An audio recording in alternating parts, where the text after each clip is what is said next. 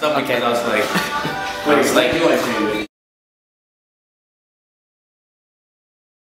this feeling to be the first guy from Guam to represent our island in the UFC and like BJ Penn for Hawaii, gonna do for Guam.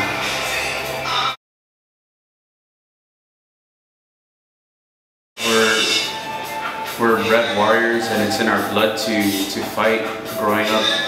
Everybody has to get into a scrap, whether it's with their family member or somebody that they know from school, but it's just an island of, of warriors and fighters.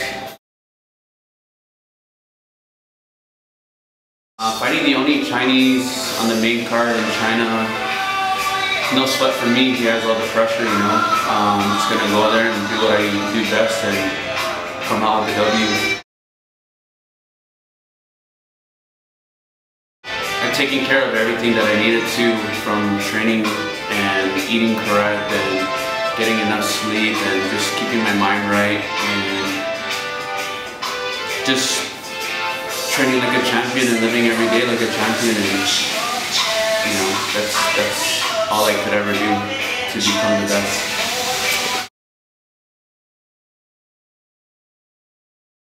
Uh, the experience in tough, you know, it's bad break, you know, whatever shit happens, but God had His plans and uh, I got to be with my family after and you know, a blessing in disguise. Got to show that I had heart in, in the fight and you know, show where I'm from and being that I'm back in the UFC, it's just this a dream come true and a blessing from God and I couldn't have it any other way and now I can show the world more what uh, I'm all about. I was just uh, excited, you know, couldn't like sleep. Um, I was just too excited. I was just overwhelmed with joy and, and happiness and just knew that, that all my hard work is getting me to where I need to be. And now I fight in the UFC and I only can look towards the belt and get to it.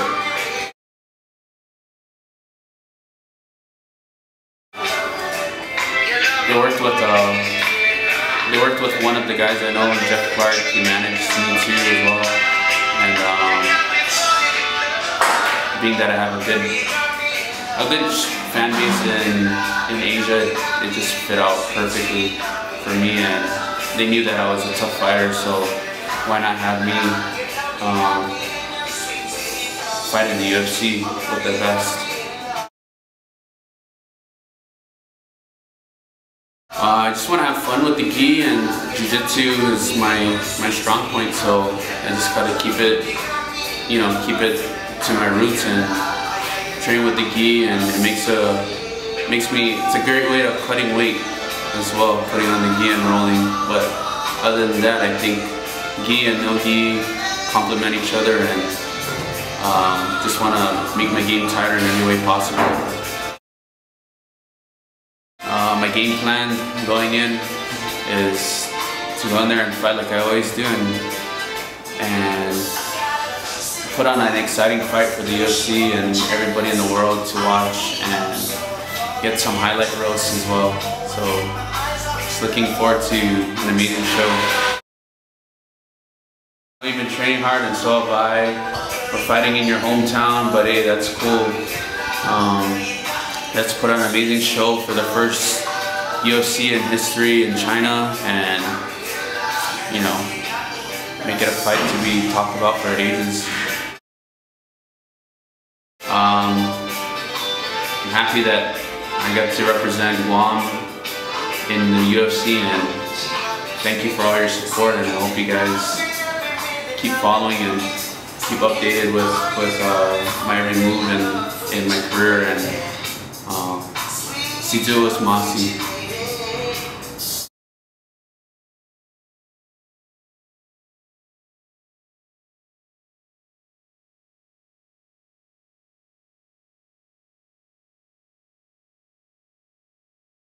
Thanks Marva Competidor for always always hooking me up and taking care of me and appreciate all the, the help and support.